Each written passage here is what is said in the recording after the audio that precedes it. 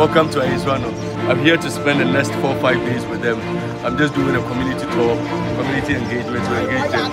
Into maybe be a be a be a team, you know. Any minute I don't want this i just come Sunday. Wherever you are, you to come to Ayensuano concert. It's done by 11 versus 1 over 11. Come see me strike the most, man.